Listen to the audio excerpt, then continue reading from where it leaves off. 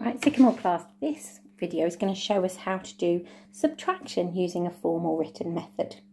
So again, with subtraction, we need to start exactly the same as with division. With addition, we need to start with the smallest column.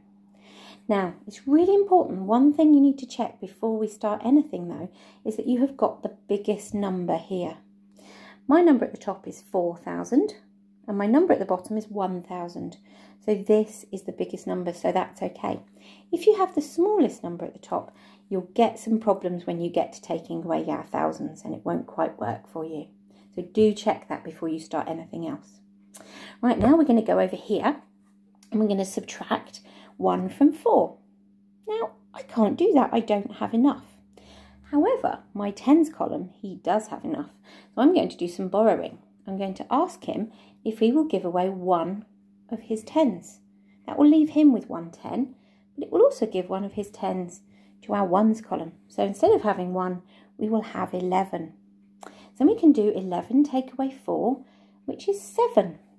We don't need to touch these numbers at the bottom at all. All of our working out is going to be on the top number. So now we can have a look. Oh, now we've got 1 take away 5. Again, 1 is too small. Certainly can't take 5 away from it.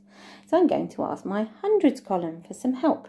He's got lots, so I'm sure he wouldn't mind becoming a 500 and giving one of his hundreds over here. So actually we have 110 or 11, 11 tens if you want.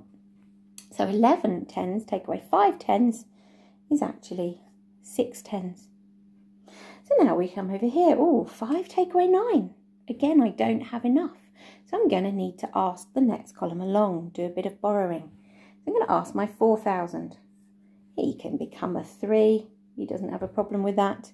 And then I can put my 1,000 over there. So actually this is 1,500 or 1500s.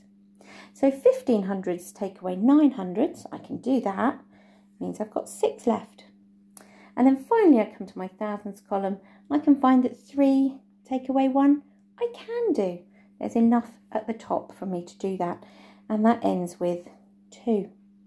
So my answer to this question is 2,667. It's always going to be a smaller number. And that's how you use that method.